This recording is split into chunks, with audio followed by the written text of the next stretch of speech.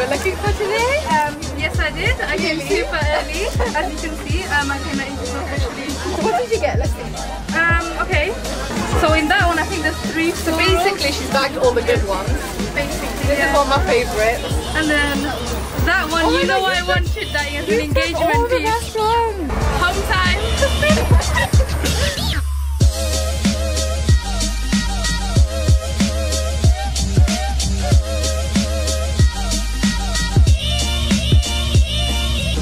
Join us today at Bees where we're hosting the Art of Liza pop-up shop. She's introducing some fantastic saris, some amazing collections for spring and summer and as you can see from the crowd we've got a lot of people here, a lot of interest and uh, people are just grabbing exactly what they like. So it's been a very successful event. Um, we're very proud of Liza and everything that she has accomplished. Um, we've been working with her for many years now, supporting her with jewellery and all sorts of things like that.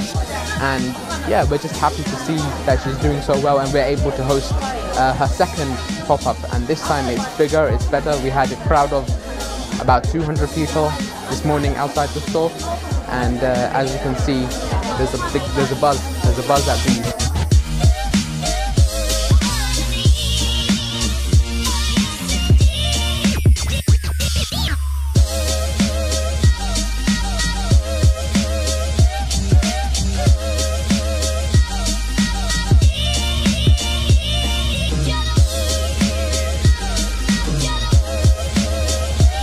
At Bees, we specialize in creating some beautiful jewelry pieces, and we've worked with Liza a lot in the past to create some pieces, especially for her photo shoots. And some of the signature pieces in our collection are from the Mughal Princess collection here.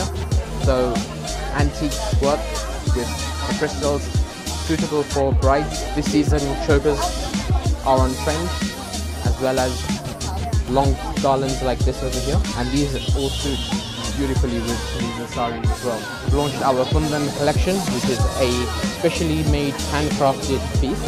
Each piece here is a one-off and a lot of labor hours goes into making something as exquisite as this. And as you can see, what we've presented here is something in all sorts of colors, styles, um, perfect for the discerning bride.